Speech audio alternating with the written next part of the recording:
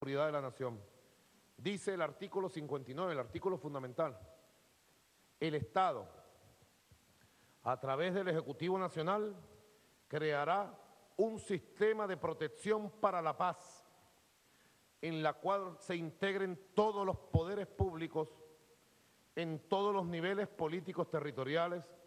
con el pueblo organizado y las instancias de gobierno comunal, a fin de promover y ejecutar un nuevo modo de planificación, de planificación, de política contra el crimen,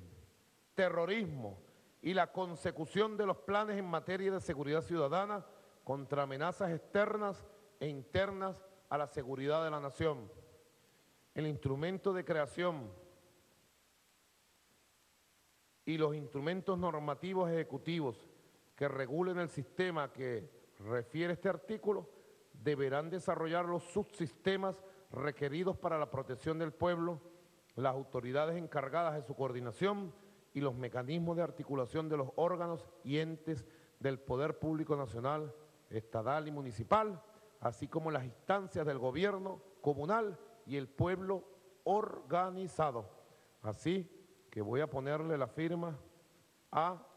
la reforma por ley habilitante de la Ley Orgánica de Seguridad de la Nación para crear el Sistema Popular de Defensa de la Paz y la Integridad de la Patria. Cúmplase.